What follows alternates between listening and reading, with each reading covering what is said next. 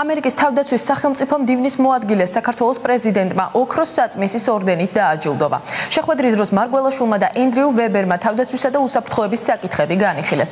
ორდენით ვებერი რამდენიმე კრიტერიუმის გამო დაჯილდოვდა, მათ შორის ბიოუსაფრთხოებაში შეტანილი წვლილისთვის.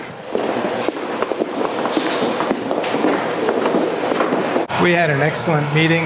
საქართველოს პრეზიდენტთან ძალიან კარგი შეხვედრა გვქონდა. განვიხილეთ ჩვენი ურთიერთობა და ვიმშელეთ გრძელვადიანი სტრატეგიული პარტნიორობის კიდევ უფრო გაღრმავების გზებზე. შესაძლებლობა მქონდა მადლობა გადამეხადა პრეზიდენტისთვის იმ სხორპლის გამო, რომელიც ქართველმა სამხედროებმა ამერიკელ საზღვაო ქვეითებთან ერთად ყანდაღარში გაიღეს. ასევე ISAF-ის მისიის მხარდაჭერისა და მასობრივი განადგურების იარაღისა და ტერორიზმის წინააღმდეგ გლობალური ძალისხმევით პარტნიორობისთვის.